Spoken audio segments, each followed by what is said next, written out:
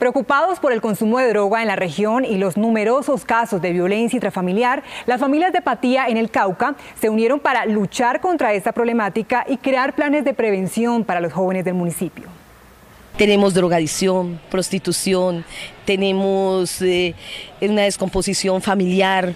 Dora Eugenia es madre de una adolescente de 13 años de edad. Dice que estos son algunos de los obstáculos a los que a diario se enfrenta en su municipio.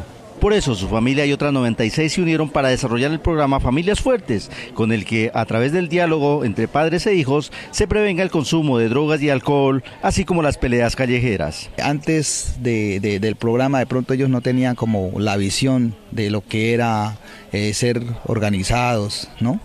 Eh, que saber que tienen que llegar a la casa, eh, cumplir con unas normas, con unas metas que se han puesto. Alfonso Medina, coordinador del programa Familias Fuertes en el Cauca, asegura que el proyecto también se desarrolla en regiones como Valle del Cauca, Tolima y Amazonas. Las violencias y el consumo de sustancias psicoactivas en nuestro departamento sigue creciendo.